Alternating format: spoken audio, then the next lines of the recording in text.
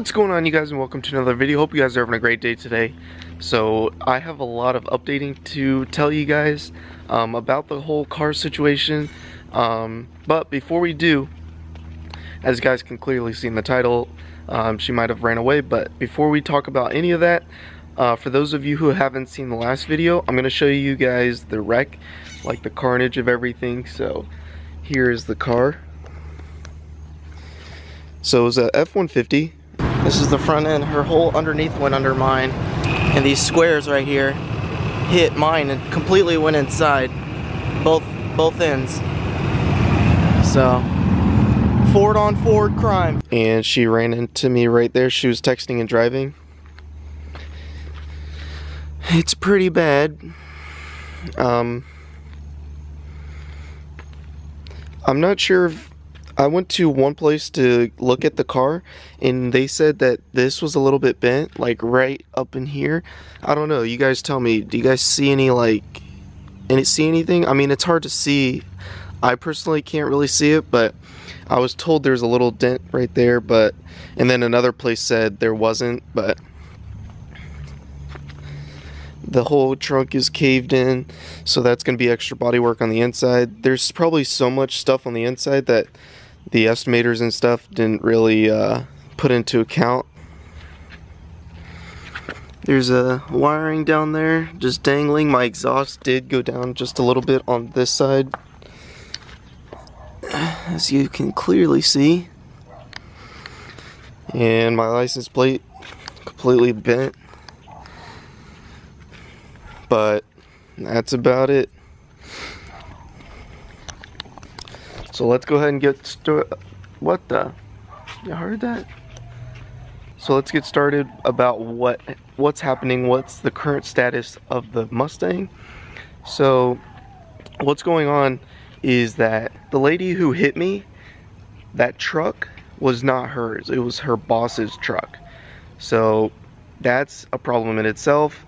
Not only that, but she isn't insured, which is even worse and it's already been a week and usually this takes like a day or two to like get to the adjuster have the adjuster come look at the car. The adjuster hasn't even like seen the car or even like contacted me to come see it or nothing because of this. So the lady who hit me she's not insured as I told you and with her being not insured um, the company of the vehicle um, isn't that a liable which is covered which is supposed to cover the car, but since she isn't insured on that policy, that company could come back. So her boss is the owner of the car. Um, he could say, well, I'm not going to pay for the damages. And he could say um, that the insurance doesn't have to fix it because he wasn't the one in the crash. Which sucks because now I have to go after her, but she isn't insured. So what I'm going to have to do is I'm going to end up trying to sue her if she doesn't try and get this fixed and the insurance company doesn't fix it. So, and not only that, but it's already been a week, and I talked to my adjuster, and uh, he said he's been trying to contact her every day, multiple times, and she has not answered once. So she could have either fled, like she like ran, or something like she's gone away, or she's trying to avoid the situation, or I'm not exactly sure. But she, she had an ID, but I'm not. I don't know how that works. Um, it's just so annoying how this like I, I asked everyone how long does this usually take? And they were like well for the adjuster and everything about a day or so. And they've never seen anything like this before. So she like I can't believe she actually like she's not contacting the adjuster neither is the boss of the car. Um, they can't get a hold of anybody. So what's gonna end up probably happening is if no one can cover this, what it's going to come down to is I'm going to have to pay for the whole thing myself. Which sucks. And I do not want to do. But that's the current situation. That's the update of the Mustang. And to top off this whole thing is that I won't even know if the car is totaled or fixable until she gets contacted and the adjuster can come out and look at it. So I I have no idea if this is totaled or not. Half the people have told me yes, it's totaled. The other half hasn't. told me it's fixable and it's pretty easy, but there is, uh, I talked to a couple body shops, this is frame damage right here, and it's like buckled. Um, and then there's probably a lot of internal damage. They got the bumper, the deck lid, trunk is pumped up. Did I just say pumped? I meant popped up. That one's really bad.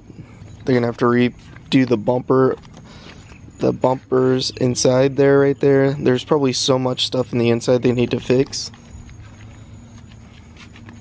So that's where I'm at. Like I might have to pay for the whole car myself if she doesn't end up and she the thing is she has 30 days um, to call or she's gonna keep calling for 30 days the adjuster. And if she never answers by the 30 days he's gonna have people go to her house but 30 days is a long time to get away if you know what I mean. So worst comes to worst 30 days I find out that she's not there anymore and I'm gonna have to pay for this my, myself. So I'm not exactly sure how long this is gonna take hopefully sooner than later. But um that's the current situation. We cannot find her. She's not answering anything. Um, so I guess the next step is waiting and then go to her house I mean I, all I have to do is wait. The adjuster said, I all you have to do is just wait. And I'm like, well, what if I can't drive it? Like, what if I need a rental car? He was like, well, we can't offer you a rental car until we come look at the car and we can contact her and this and that. And I'm like, oh my gosh. So I'm up because I have to drive this everywhere. Hopefully I don't get pulled over because I'm pretty sure this is a little bit illegal. But you guys have ever been in a similar situation, let me know. Also, I'm gonna end the video here. If you guys want me to make a video of exact detail of what happened, um, I'll even go back to the road that it happened at and show you guys exactly what happened. I left a couple stuff out, um, such as like, for example, her boss owning the truck instead of her.